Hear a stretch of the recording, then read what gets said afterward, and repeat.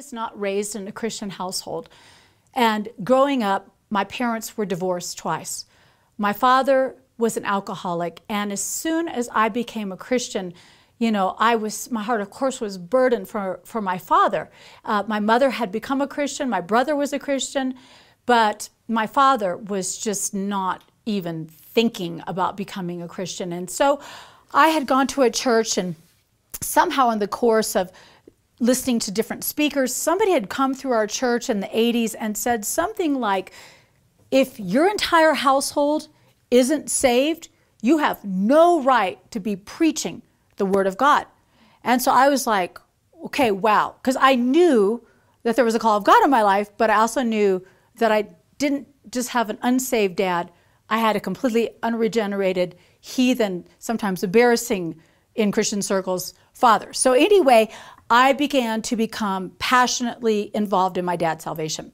And so I remember John and I, we invited him to church. We tried to preach to him the whole time. He was just smoking cigarettes and cussing at us and drinking. And then we took him to church. And basically, the entire time we were at the church service, I think I might have been praying in tongues and staring at the side of his head. I don't know. I'm sorry, but it, it's quite possible. Or if I wasn't, I had people around him, maybe even stretching their hands forth, praying over him, binding devils. I was looking at him like, Are you feeling the love yet? Are you feeling that you are headed straight to hell and we need you to get saved? I was just staring at him. I remember when the pastor was doing the big close on salvation, he said, Everybody bow your heads. I bowed my head, but I peeked over at my dad. He did not bow his head. He's like, I'm not bowing my head. He had his chin up. He was looking at the preacher, just like staring him down. And the preacher was like, If you were to die tonight, where would you go? And my dad was just glaring at him like, to hell? And you can go there too. He did not even have a moment of reverence at all. I was horrified. And so the guy kept preaching, and he was like, I just, you know, I sense there's five more people in here that need to get saved. I was like, five, definitely. Come on, Dad, come on, Dad. So he was like, if you're sitting next to somebody and you think they're hesitant, take their hands and come down with them. I remember I grabbed a hold of my dad. So crying at this point, Dad, you want to go down? He jerked his hand away from me. He stood up. He let out a stream of cuss words, went storming out of the back of the church. We found him afterwards smoking a cigarette. I think I cried, and he was like, I am so glad to be flying out of town today. I mean, he left us in the wake. He went back to Florida. But you know what? I'm relentless. And so I understood that I wasn't going to get my dad to visit and go to church with me again, but that didn't mean I couldn't bring the church to my dad. And so I actually contacted some churches in the Orlando area. We were living in Dallas at the time. And I asked these people to contact my dad, to invite him to church, to offer to pray for him. So these people were calling my dad. My dad would call me and say, Get your beeps off of me. I am not some dog that you then people chasing after me. I mean, he, so, so ridiculous. So I'm like, You don't understand. You need to get saved. You need to get saved. I can't be in the ministry until you're saved. You need to be saved, Dad. You're holding everything up. So John went away on a men's retreat and I decided I'm going to fast the whole weekend. I had heard somebody talk about fasting and praying, so I was like, I'm going to fast. I'm not going to eat again until my dad is saved. Okay, thank God he released me of that vow, or I would have died. But anyway, I prayed and prayed and prayed. This is before portable phones. Stared down the phone, willed it to ring, commanded angels to invade my dad's room, give him bad dreams, give him good dreams, whatever needed to happen. I just believed at any second the phone was going to ring. My dad was going to be miraculously saved, but it didn't happen. And I cried out and I cried out and cried out. And finally, finally, when I was almost like at the edge of just exhaustion, I heard God say something to me that actually shocked me. He said, Lisa, I love your dad more than you love your dad. And I was like, wow, I never even thought about that because I barely like my dad. Okay, you love my dad. And he said, and I want your dad saved more than you want your dad saved. But you can't make this happen, Lisa. Do you believe my word? I thought, of course I believe your word. I'm like going to preach your word. He said, Well, Acts 16 says that you and your household shall be saved. Now stop being weird and just love and respect your father. give him to me. And I remember that day, I wrote in the margin of my Bible that me and my house would be saved. And I wrote my dad's name right there by that promise. And then from that point on, I began to just love my dad, respect him. I actually talked to him as though he was a Christian, which was kind of an interesting conversation with somebody that's completely reprobate. But anyway, I would just tell him what was going on. But I also still really had a longing for my dad to be part of my life and my children's life. But whenever I would bring my children to visit my dad, my dad would always, always be drunk. And he would say horrible things in front of my children, horrible things to my children. And then one time we drove all the way down there, it was three hours away, with our kids, loaded up with Christmas gifts. And my dad, he didn't even bother to be there. He put a little note on the door and he said, Sorry, I have other plans. I remember I cried the whole way back. I loaded the four boys back in the van. John was driving. I just started crying. I said, I'm so sorry. I'm so sorry. John was leaving for Sweden the next day. We had just done the six hour round trip. My kids were saying, Where's grandfather? Why are we seeing grandfather? I thought we were going to go swimming. And then I'm just, and you know, that's really awkward for little boys. And so they just began to pat me. They'd be like, okay, okay, okay. What they were really saying was, Dad, make her stop. Make her stop. We just, we're really not enjoying this. But I wasn't okay. And the next day I drove down to the Orlando airport, put John on, the, on a plane, came back home to my house, put my boys in the backyard, fell on the carpet, and began to play some of the Hillsong songs. And one of those songs was, You're a Father to the Fatherless. And I remember in that moment, it was the first time I actually felt fatherless. And I let the revelation of it just wash over me. I began to cry. I was like, I am fatherless. Not because I'm an orphan, but because I'm rejected. And I remember crying and giving myself completely over to it. When I, I sensed, I heard God laugh. I was like, what just happened? I'm having this painful moment. Did you just laugh about this? Because this is really horrible. And I, I sat up and I, I heard God say, you're, you're looking at this all wrong. When you are completely and utterly abandoned and rejected by your Father, then you are completely and utterly adopted by me. What you see as rejection, I see as adoption. I remember I got up off the carpet. I was like, so sad for John. I am the new favorite. I mean, I am like God's direct daughter. John's got a dad here on earth. He's got like a, a funnel, but me, direct contact. Years went past, and my dad's condition and the alcohol got worse. Time unfolded, and he ended up being in an alcohol related dementia center. And um, for some reason, I just started to feel like I needed to come and see him. And we were in the Christmas of, of, of 2010. And um, Juliana and Addison and I, uh, we, oh, no, it was 2009. What year was it? 2009. 2009. Uh, Juliana, Addison, and I brought Asher to go see my dad. And when my dad came out, he wasn't the big, scary Italian man I remembered. He was frail and he was um, barely there. And we sat down with him. He, he, he really, he couldn't really talk. And we answered him, asked him questions, and he would nod. And he wasn't fully putting together the picture of who Addison was and who Julie was and who I was and who Asher was. But I had brought some photos. And I showed him a photo of him with Addison. And, and I kept talking, and all of a sudden he like, he picked up the photo of him and Addison and he pointed at Addison. Addison was probably two years old in that photo. And then he realized that that was Addison's baby and that was him with Addison.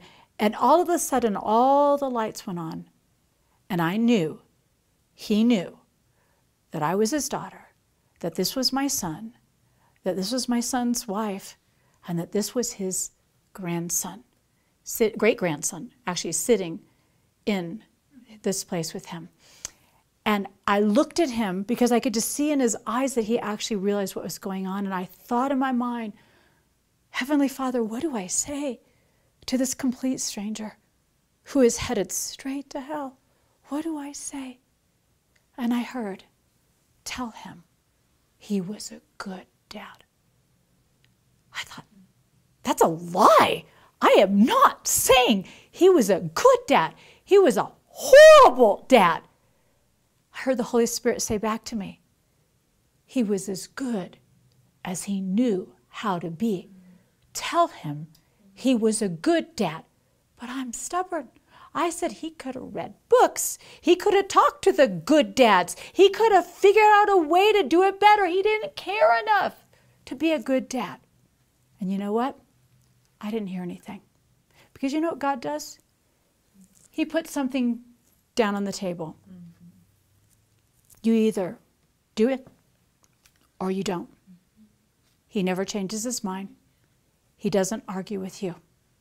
And so I took my dad's hands and I raised them up in front of me and I looked him in the eyes and I said, Dad, you were a good dad. And it was like an electric current went through his body. I watched him, his eyes like fill up with tears, and he looked at me and he, he took my hands and, and he kissed the back of my hands. And then he said the only two words he said the entire time that we were there. He said, Thank you. And when he said thank you, I watched Addison get up. I heard Julie begin to cry. And we began to pray over that broken, wounded man who had lived under such a weight for so long. And we said, Father, forgive him. He owes us nothing. We thank you that he is translated from a kingdom of darkness into a kingdom of light. We remit his sins. We cancel his debts. And the whole time we're talking, he was just nodding and crying. He couldn't, he couldn't say the sinner's prayer. He couldn't. But he knew what was happening. Put him to bed. We I went and met with one of the nurses and I said, I just want to make sure you have all my contact information correct. He walked out. He walked right past us. He didn't know who we were. He sat down and watched Lawrence Welk with a bunch of other people.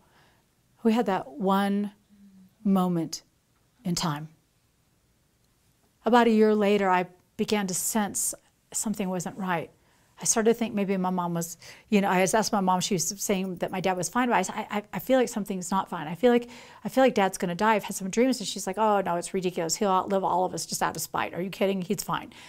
But I just didn't feel that. On New Year's Eve, I was cutting vegetables and watching the news, and this newscaster was on, and she was sharing about her father and she was showing pictures of her fishing with him on a boat and all this stuff and you know obviously had a beautiful relationship with her father and then she said goodbye dad i'll miss you. And i, I realized i was crying. I'm like oh my gosh this is perimenopause. Am i going to be crying with people that i don't know about their fathers? I don't know. Wow this is going to be a really long season of my life. I am going to be crying with random strangers for quite a while but i heard no you're crying because this is the year you're going to say goodbye to your father Five days later, I'm in Canada. I wake up really early and I just feel like something isn't right. Something isn't right. I can't sleep. Something isn't right. I go do a bunch of shows at Huntley Street. Still, that feeling of something not being right is just overwhelming me.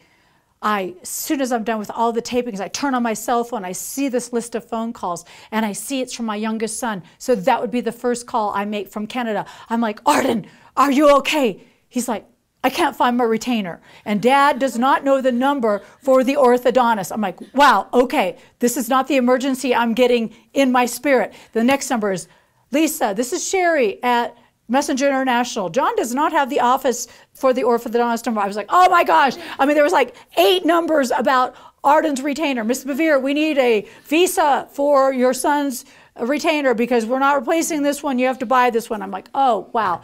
There was one number that I didn't recognize. And I thought, you know what? I'm going to go through immigration and customs and call that number when I get on the other side. I get on the other side. I dial that number and I hear the beginning of the recording. And actually, all I remember of it was, as you know, your father is dying. We started a morphine drip on him this morning. I remember I felt like I was going to faint. I was like, I just hit the redial back number. I didn't even listen to the message. I, I didn't get her name. I just hit redial back and I was like, no, I don't know my father's dying. How would I know my father's? She's like, I'm on my way. He's been in hospice care. I'm on my way right now to go see him. If I can get, you know, get to him, I'll put my cell phone up to his ear and you can talk to him. I'm like, I'm boarding a plane. And then I try to get off and I, there was no flights to Orlando. So I thought, well, I'll go to Denver and navigate it from there tomorrow morning. I was just panicked. So she gets there. She calls me. People are putting their bags in the overhead up and down the aisle. Flight attendants give me dirty looks. And I'm saying goodbye to my dad. I'm saying, Dad, this is Lisa. I just want you to know I'm coming tomorrow. But if you can't, wait, you can go. I love you. I remember you taught me how to dive. I remember you used to take me fishing. All right, bye. I drove home, called my brother, gathered my children. I was home for 15 minutes, and I got the phone call that he was gone. And I remember thinking, oh my gosh, I'll never say goodbye to him. It was arranged that he would have no funeral, no memorial service, and they were just going to cremate him. I remember crying. My boys made the ultimate sacrifice. They watched Anne of Green Gables and Anne of Avonlea all in one night with me, just wrapped in a blanket. But I remember just feeling like, I don't know. January, February, March, April. I continued to travel in the year 2011 and I preached the faithfulness of God. Then in May of 2011, I met the faithfulness of God. I was doing a conference in Jacksonville, Florida, and I looked out in the crowd and I saw this girl with cute, spiky, kind of like Shelly's hair when she spikes it up, but it was red hair. And I noticed her in my first session. Then I did a breakout session on parenting. I noticed her again. Then I went into my hotel room. I come down the lobby. There she is. Like, Okay, seriously, I'm going to have to like meet this person. So I walk over to her and I said, "Hi, I'm Lisa." And she said, "Lisa, I'm April. We spoke on the phone." I'm like, "I don't know any spiky red-haired Aprils in Jacksonville, Florida." And she said, "No, no, no. I, I drove six hours to come and tell you about your father." She said, I am the person that held the phone up to your dad when he was dying so you could talk to him. She explained to me, she said there was an order in the files that you were not to be, uh, that nobody was supposed to tell you or your brother that your dad was dying. And she said, but I did not know Toscano was Bevere. And she said, when you left to Sticky on that night when Addison, Julia, and Asher and I visited, I made the correlation between Bevere and Toscano. And she said, I've read every single one of your books. And I said, There is no way Lisa is not saying goodbye to your father. So I called you from my cell phone. And then she said, I need to tell you about your dad. She said, He was an awful patient. She said, I've been his social worker for the last five years. He stole a car. He got beat up by the police. He beat up another patient. He ran away from his last facility and, you know, he's just been known for violence. She said, but for the last year, he was an angel. And I looked at her, I said, the, the last year? And she said, yeah, the last year, he was an angel. That was when I realized that when I forgave my father, he allowed God to forgive him. When I canceled his debts, he received what Jesus had done for him. Who is waiting for you to cancel their debts? Who is it in your life that you are afraid to love? Who is it that you are afraid to forgive? You do not understand how powerful a sword yielded is. I'm going to ask that you would pray, and whoever the Holy Spirit brings to remembrance, you go to that person Maybe it's not your dad. Maybe it's your mother. Maybe it's a friend. But the Holy Spirit will give you the right words to open up their heart so that they can be restored to heaven. In Jesus' name.